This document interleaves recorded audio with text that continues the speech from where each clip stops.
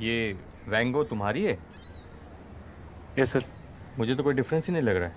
It's too good thank you sir कितना? छः हज़ार। इतने में तो ओरिजिनल मिल जाएगी। सीधा भाव लगा ना। मेरे हिसाब से इसके लिए हज़ार भी बहुत है। असली कॉपी बनाने में भी कला लगती है सर एग्जैक्ट रेप्लिका है। बकवास छोड़ है तो नकली ना।